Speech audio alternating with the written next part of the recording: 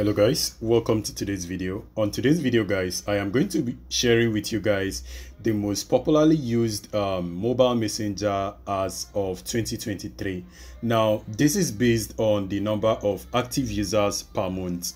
So i'm going to start saying i'm going to start calling them from the descending to the ascending one which is from the um, good one to the best one. Now the least one is actually qq now, QQ has about 574 million active users per month.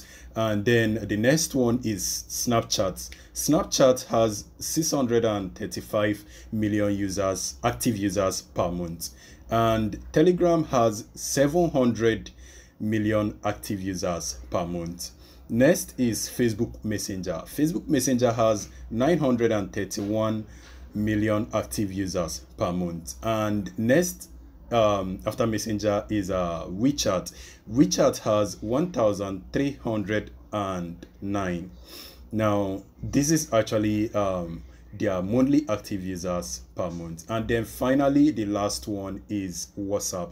WhatsApp has 2,000 monthly active user. And guys, this is just it this is how they stand and these are all the um, most popularly used messenger on your mobile app as of today 2023 so thank you for watching this video. Um, i hope it's helpful. If it is don't forget to smash like share this video with your friends. See you on my next video. Peace